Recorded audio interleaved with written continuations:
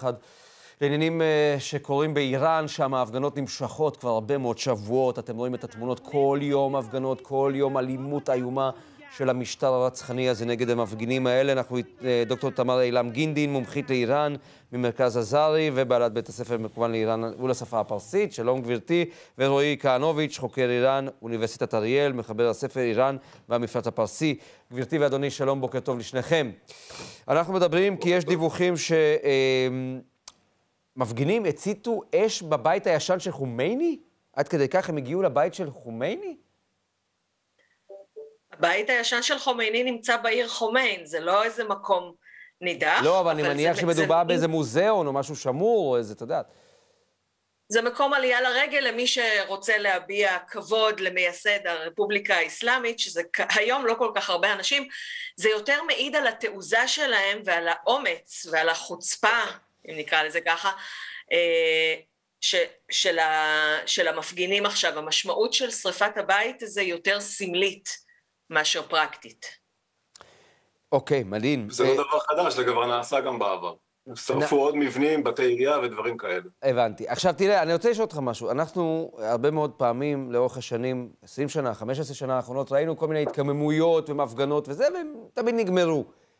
היה, נדמה לי, תקן אותי אם אני טועה, הפעם זה קצת שונה, עד כמה זה מקרב את האיראנים לסוג של מהפכה, או שזה לא, לא, בא, לא בא בחשבון? תראה, זו שאלה מצוינת, מאחר ובאמת, כבר משנות אה, השיש, המהפכה האסלאמית ב-78-79, אל תוך 2009, ומה שקורה בחמש השנים האחרונות, האם זה מקרב את איראן, את המשטר האסלאמי לסיומו? אני מעריך שמה שנקרא השד יצא מהבקבוק. זה משהו שלא יכול לחזור אחורה, אה, והמשטר, לעניות דעתי האישית, כמי שחוקר ועוקב אחרי איראן, נמצא באיזושהי מגמת דעיכה. כמה זמן זה ייקח, מתי זה יקרה, מה מילת המפתח, או איזה אדם יוביל את המחאה, ימים יגידו, אבל אני חושב בהחלט שאנחנו רואים אה, בקיאים וסדקים בתוך המשטר. אגב, גם למהומות האלה, אני קיבלתי עדויות על כך שאנשים פשטו את המדים והצטרפו למפגינים. וזה אומר הרבה מאוד מבחינת ההיקף של האירועים האלה, גם אם לא גדולים מבחינת המסות של האנשים, שזה 300-400 אלף איש מתוך 80 מיליון איש שחיים באיראן, המספרים עדיין קטנים, אבל עדיין אנחנו רואים איזושהי מגמה שהולכת ומשתדרגת או משתבחת עם השנים ככל שעובר הזמן, וצריך לזכור שזה בסופו של דבר תהליך. איראן, כמו כל המזרח התיכון, עוברת תהליכים שעה-שעה, יום-יום, וימים יגידו באמת מה נראה בשנים או בחודשים הקרובים. דוקטור אילם גינדין, אה, סיוע מבחוץ.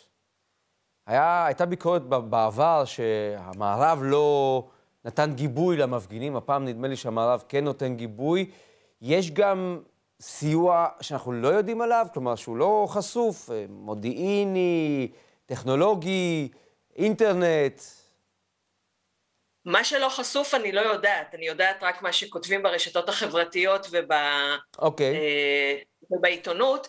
Uh, התמיכה של המערב מאוד מאוד חשובה, כלומר בין הדיווחים על ההפגנות כדי לעודד את המפגינים להמשיך ולצאת, יש גם דיווחים על התמיכה של המערב, כשרק התחילה המחאה הזאת, הבקשה העיקרית ברשתות החברתיות היו שימו לב אלינו, אנחנו רוצים שהעולם יבין מה אנחנו עוברים, והעולם באמת נרתם וזה נותן למפגינים רוח גבית.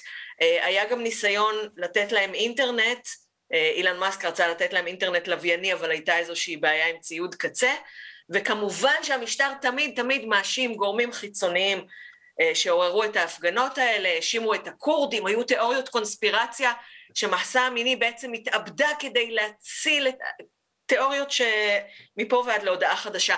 מה שמיוחד הפעם זה שאפילו קשר עם ישראל, אפילו שחמינאי מאשים את ישראל ואת ארצות הברית, שום דבר לא מצליח לעשות דה-לגיטימציה להפגנות האלה. בעבר תמיכה מישראל זה היה משהו שכדאי להימנע ממנו כדי שהמשטר לא יוכל לעשות דה-לגיטימציה. אה, כפי שאמר רועי, השד יצא מהבקבוק והמשטר לא מצליח לעשות דה-לגיטימציה עכשיו בשום צורה. יש תמיכה מאוד רחבה גם בעם וגם בעולם.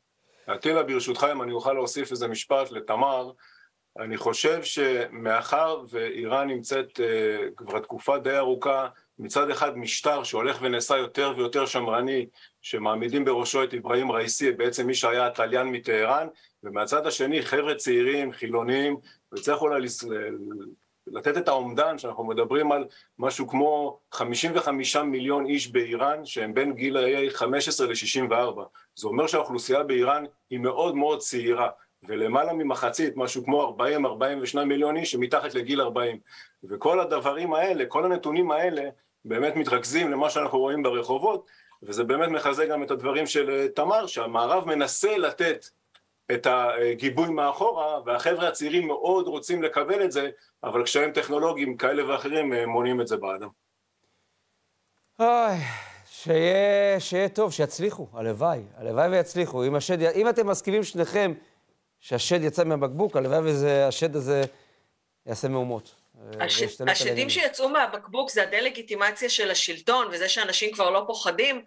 האם זה יהיה הדבר שיעביר אותנו? אני תמיד אומרת, אנחנו יום אחד יותר קרובים מאתמול, יותר מזה אני לא מעיזה להתנבא. ברור, ברור. מה שכן, אה, חמד אסמאעיליון, שהוא אחד המנהיגים הבולטים אה, מבחוץ, נציג המשפחות השכולות של טיסה 752, אמר שהפעם אנחנו יותר אופטימיים לשינוי משטר, אז אותו אני מוכנה לצטט. הלוואי, ואז העולם משתנה לגמרי.